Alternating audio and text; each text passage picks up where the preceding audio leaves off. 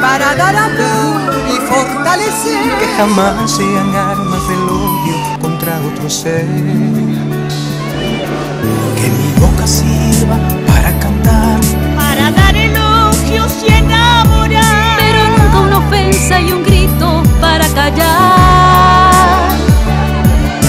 le pido a Dios que abra mi razón en mi corazón. Para nunca agredir con el cuento famoso de corregir.